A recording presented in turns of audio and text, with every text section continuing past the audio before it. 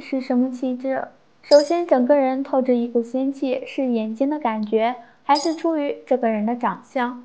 长得像天仙一样的仙气。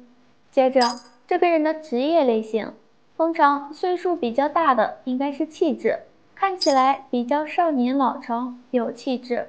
如果是年轻一点的，就是长相漂亮。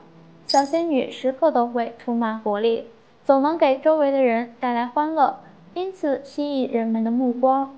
皮肤白皙的女孩子看起来给人的感觉总是有一点小高冷，特别是脸部皮肤又白又水润的女孩子更是如此，有种不食烟火的气质包含在里面。